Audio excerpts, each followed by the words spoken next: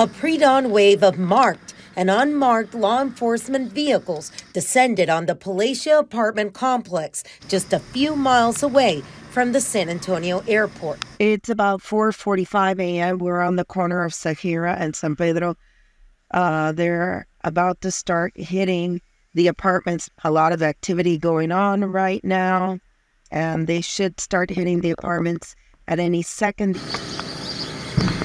There you go, flashbangs. And with that, Operation Aurora was underway. The operation marks a significant development in an ongoing crackdown on the Venezuelan transnational organization Tren de Aragua that has been operating in San Antonio for months according to the San Antonio Police Department. More than 150 SAPD, Texas's Department of Public Safety, Homeland Security investigations, state and federal agents helped in the sweeping of hundreds of vacant apartments allegedly being used by Tren de Aragua. We had reports of TDA being involved with criminal activity in this area, and uh, we clear, ended up clearing about 296 vacant apartments. This undercover SAPD lieutenant explained this operation stems from intelligence gathered by undercover officers for months. Sources tell us some of that information was developed within the San Antonio Migrant Resource Center. With the proximity to the border,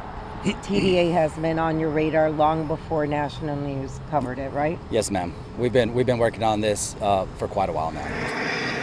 From this spot, just a block from the apartments, we were able to hear and see for three hours the movement of law enforcement as they found those who were using empty apartments allegedly to commit their crimes. Crimes which we are told include prostitution, distribution of cocaine, and human trafficking. In all, 19 people were charged, according to the chief of police. We've confirmed that four TDA members are in custody. Tren de Aragua members are in custody.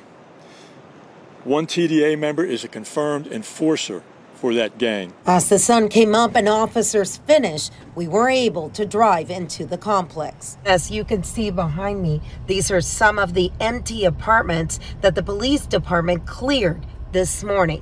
In total, there are 900 apartments in this complex. We're told by federal law enforcement sources that most of the apartments are housing migrants. We're also told that janitors and those who work here fear for their safety and that of other migrants who have nothing to do with the Venezuelan prison gang. In San Antonio, Texas, I'm Jami Virgen reporting.